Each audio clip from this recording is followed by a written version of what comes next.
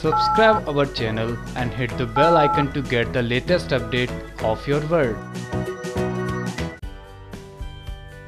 Colours की popular show Udaan में चल रहा है इंटरेस्टिंग ड्रामा जहाँ शो में अभी तक आपने देखा कि शो में विलेन की एंट्री होती है जिसका नाम है भानु प्रताप। जहाँ भानु प्रताप राघव को सूरज समझ, उससे अपने घर पार्टी में आने का न्योता भिजवाता है। तो राघव उसका न्योता स्वीकार कर लेता है। वहीं इमली राघव को भानु प्रताप की सच्चाई बताती है कि वह अच्छा इंसान नहीं है। तो ये सब सुनकर चकोर राघव को उसके घर जाने से मना करती है। लेकिन राघव जाने की जिद करता है, जिसके चलते वह भानु प्रताप के घर सूरज बनकर पहुँच जाता है। वहीं भानु प्रताप राघव को सूरज समझ उससे मिलता है तो राघव उससे अपने घर बुलाने की वजह पूछता है। तो भानु प्रताप उसे बताता है कि वो आज़ादगंज में फैक्ट्री लगाना चाहता है। जिसके लिए वो गाँव वालों की ज़मीनों को खरीदना चाहता है, लेकिन राघव उसे ही ज़मीन देने से मना कर देता है। तो वहीं अब आने वाले ट्रैक में आप देखेंगे कि राघव भानु को बताएगा कि वह उसके बारे में सब जानता है और उसके जो इरादे हैं, उनमें वो उसे कामयाब नहीं होने देगा।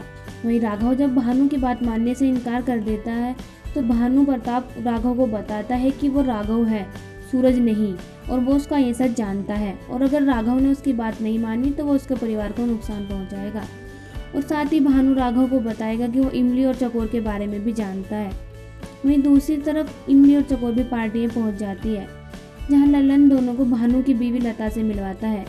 तो वहीं चकोर राघव को पार्टी में ढूंढती है, लेकिन राघव से नहीं मिलता। तो क्या चकोर राघव के पास पहुँच पाएगी? या राघव भानु की बात मानने को हो जाएगा तैयार? अब देखना यह दिलचस्प हो जाएगा कि कैसे राघव इस भानु नाम की मुसीबत से चकोर और इमली को बचाएगा। या भानु प्रताप हो जाएगा अपने प्लान में कामयाब।